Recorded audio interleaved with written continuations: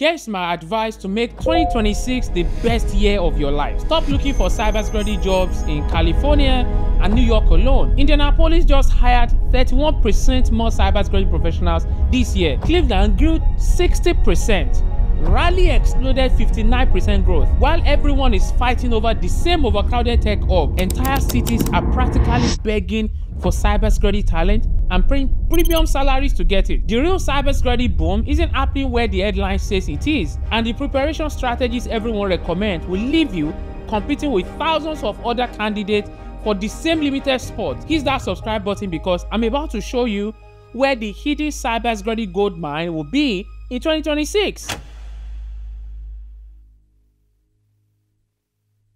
I'm Tolulope Michael, and after close to a decade in cybersecurity, I can tell you that most people are hunting for opportunities in completely the wrong places. The cities, the industries, the specific skills that will put you miles ahead of everyone else who is still following the same tired advice. This isn't about joining the crowd. This is about positioning yourself where the explosive demand is headed while most people haven't caught on yet. But first, let me tell you what most career guides will mention about the cybersecurity market right now. We're in the middle of a massive skills mismatch. There are 4.8 million unfilled cybersecurity positions worldwide, yet 31% of security teams made zero entry-level security hires last year. Companies are screaming about talent shortages while simultaneously rejecting beginners. Why? Because the skills they need don't match what most people are learning. Most training programs are still teaching you to fight yesterday's battles while the industry has moved on to completely different challenges. The result, you could spend months, I mean months literally, preparing for roles that barely exist anymore while missing the opportunities that are exploding right now. Now, let me show you what is really happening and what is going to drive demand in 2026. Artificial intelligence isn't just changing cybersecurity, it's completely rewriting the job descriptions. Right now, 45% of security organizations are already using AI for analysis and automation. By 2026, if you don't understand how AI tools work, you'll be like someone applying for a driving job who doesn't know what a car is. Yes, but here's what is interesting AI isn't eliminating cybersecurity jobs, it's creating entirely new categories. AI security engineer positions are about to explode. These are not traditional security roles with some AI sprinkled on top. These are hybrid positions where you need to understand both how to secure AI systems and how to use AI defensively. Now, think about it. Every company is rushing to implement AI tools but very few understand how to secure them. Someone who knows how AI models can be attacked, how to protect training data, and how to implement AI governance frameworks, that person is going to be incredibly valuable. But AI is just one part of the transformation. Now, let me tell you about the other skills that will dominate 2026. I can't overemphasize this.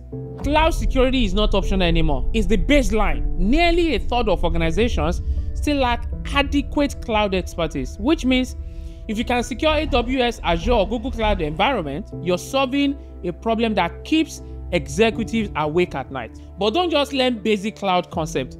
Focus on multi-cloud security and zero trust architectures. Okay, companies are not using single cloud providers anymore, and the old secure the perimeter approach is dead.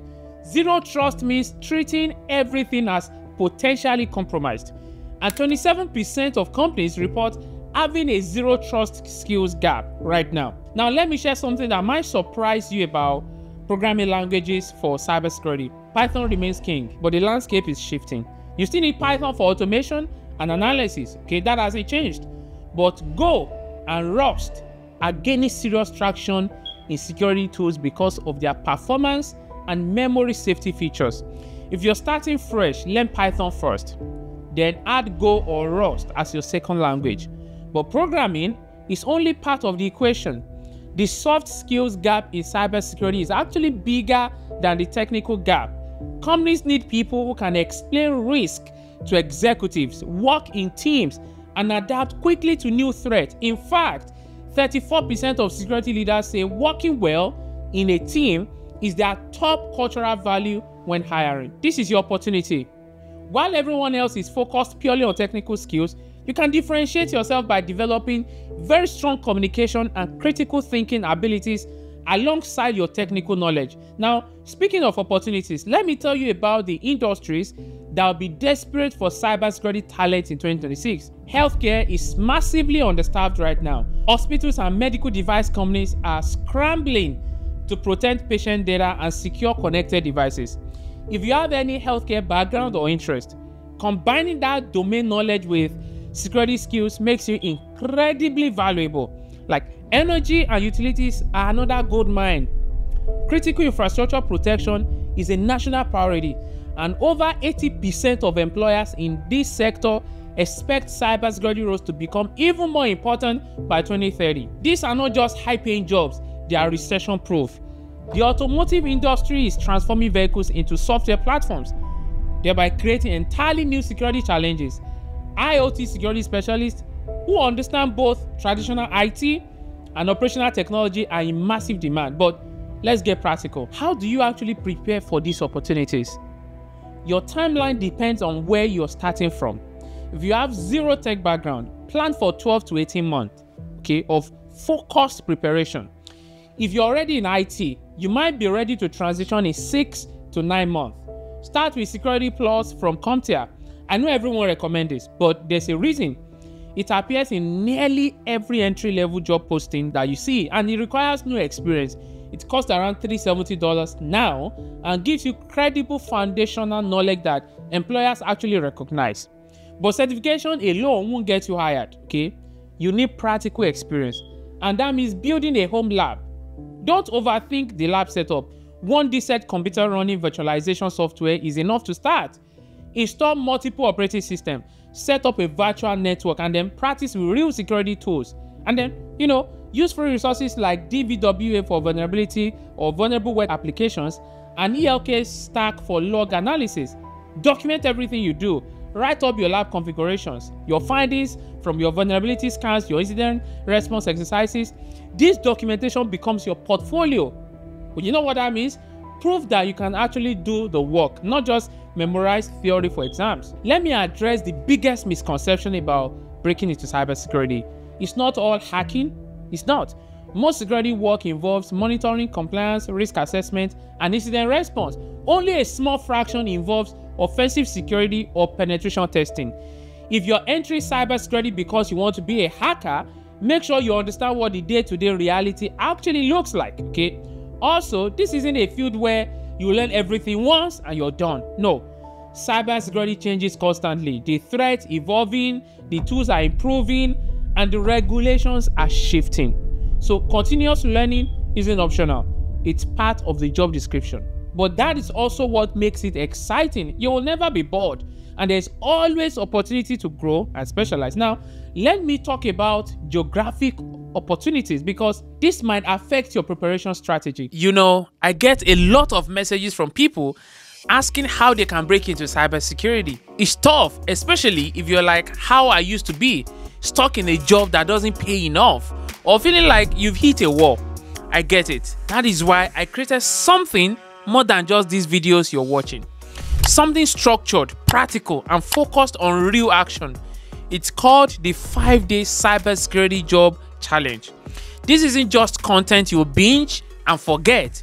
We're talking hands on learning, real skills, and daily guidance. Two hours a day for five days.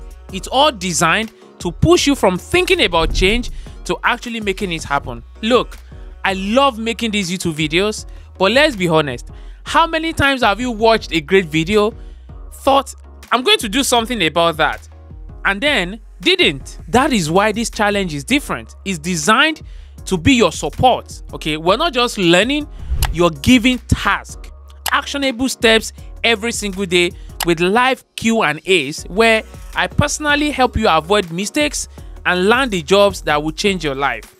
Watching my videos is great, but if you want to go beyond watching, if you're ready to take real steps toward a $250,000 career a year, come join the challenge. The link is in the description below. You can't miss it. Now, enjoy the rest of this video, but don't forget to come back when you're ready to take that next step. Traditional tech hubs like San Francisco and New York still have lots of cybersecurity jobs, but they also have the most competition and highest cost of living. some of the fastest growing cybersecurity markets are actually in unexpected places. Indianapolis, like I said, saw 31% growth in cybersecurity jobs last year. Cleveland had 60% growth. Raleigh in North Carolina, 59%. These cities offer lower competition, lower cost of living, and growing opportunities. Plus, with remote work becoming standard in cybersecurity, your geographic location matters less than it used to. About 24% of new IT jobs in the US are posted as hybrid, okay? And 12% are fully remote. Even entry level positions are offering flexibility, which means you can access opportunities nationwide regardless of where you live. Doesn't matter. Okay, let's talk about the competition and how do you stand out. Some popular cybersecurity job postings receive over a thousand applications in a single day. Your resume needs to demonstrate practical skills, not just list certifications and education. This is where your home lab project your, and your documentation pay off. You contribute to open source security projects, participate in capture the flag competitions, write blog posts about your learning process. Okay, these activities show employers that you are actually genuinely interested in cybersecurity, not just looking for a high paying job. Okay, build a portfolio on GitHub showcasing your project. Then include vulnerability assessment that you've done, security scripts that you've written, or documentation from your lab exercises. When employers see concrete examples of your work, you move from just another candidate with Security Plus to someone who can actually contribute from day one. Let me share some alternative entry level points that most people overlook. If you're having trouble landing a direct cybersecurity role, consider adjacent positions that can lead to security. Help desk technicians, you know, who volunteer for security related tasks, they often get internal transfers. Network administrators can pivot to network security roles. Even quality assurance testers, our QA, they can move into application security. So don't overlook non-traditional industries.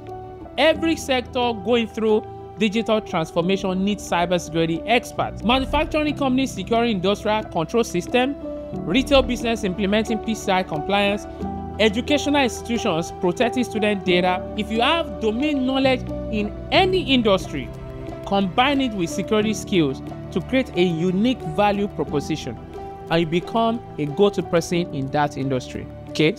Government and defense contractors they offer excellent entry positions especially if you can obtain security clearance. The hiring process is slower but these organizations often have formal training programs and they are more willing to invest in beginners. Okay? Now let me give you the action plan that actually works. Are you ready for it? It works. Phase one is for foundation building month one to six Start with CompTIA Security Plus, build your own lab, begin following cybersecurity news and joining online communities. Pick one area to focus on initially. No, don't try to learn everything at once, okay? Now, phase two is for specialization. This is month 7 to 12. Choose a specialization based on market demand and your interest. Cloud security, incident response, or application security are all growing rapidly. Get hands on experience through labs and projects start networking with professionals in your chosen area okay? And then we move to phase three. Phase three is for job hunting. This is month 13 plus. Apply for entry level positions internships adjacent it roles leverage your network for referrals and informational interviews. You know what that means? Be prepared for rejection. It's a part of the process okay? Each interview is practice for the next one. Do you understand that Remember, cybersecurity hiring managers often prioritize attitude and potential over perfect technical qualifications. Show them you're eager to learn, you work well with others, and you understand the business impact of security decisions. Let me address one more critical point about realistic expectations. Your first cybersecurity job probably won't be your dream role. Just know that now. You might start as a SOC analyst monitoring security alerts, or as a compliance coordinator documenting policies. That's normal and expected. Use these positions as stepping stones, okay, to build experience and figure out what areas of cybersecurity truly interest you. Entry level cybersecurity salaries typically start in the low $70,000 range in the US, rising to $100,000 with a few years of experience. Don't expect six figures right out of the gate unless you are in a high cost of living area or you have exceptional circumstances. but the career growth potential is excellent. Cybersecurity professionals who continuously update their skills and take on interesting responsibilities can reach senior positions relatively quickly compared to other fields. I promise you that. Now, as we wrap up, let me give you the most important piece of advice for succeeding in cybersecurity. Stay curious and keep learning. The threats are constantly evolving. The technology stack is always changing, and new regulations appear regularly.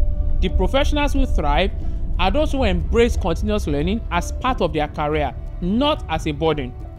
Join professional organizations like ISC2 or ISSA, attend local meetups and conferences, even the virtual ones. Okay?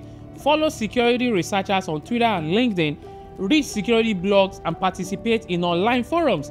This isn't just about staying current anymore, it's about building the network that will support your career growth. The cybersecurity industry needs more qualified professionals, and there's genuine opportunity for people willing to prepare properly and commit to continuous improvement. Take a screenshot of the action plan I outlined, okay? Pick your starting point based on your current background. Then set a realistic timeline expectations and begin phase one this week, like this week, not next month. Okay? Now, if this roadmap helped clarify your path into cybersecurity, Please share with others who might be considering this career change. The more people who understand what preparation actually looks like, the stronger our industry becomes. Hit that subscribe button for more honest career guidance that cuts through the hype and gives you actionable strategies. Okay, drop a comment. Let me know what phase of cybersecurity preparation you are in right now. Trust me, I read every comment. I do. Remember, the cybersecurity career you build in 2026 starts with the preparation you do today.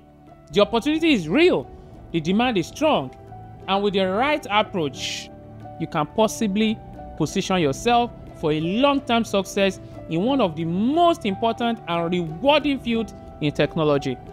In my usual manner, I hope I'm leaving you better than I met you today. Now, go build that cybersecurity foundation the right way. I will see you in the next one. Bye for now. Watching videos like this is great way to learn, but here's the thing, no matter how many videos you watch, is the action you take afterward that really matters, right? That's why I created the 5-day cybersecurity job challenge. It's like these videos, but with structured and accountability. For 5 days, you get daily tasks, personalized guidance from me, and hands-on skills that actually get you hired. So if you're ready to make cybersecurity more than just something you watch on YouTube, check out the challenge in the description below.